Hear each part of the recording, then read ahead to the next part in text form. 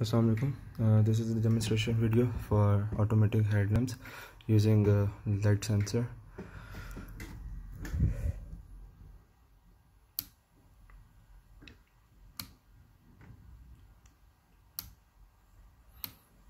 Uh, the sensor is interfaced uh, uh, to detect absence of light and turn on the headlamps automatically uh, in case the vehicle uh, has entered a tunnel and the uh, driver forgets to turn on the lights it automatically uh, turns on the headlamps.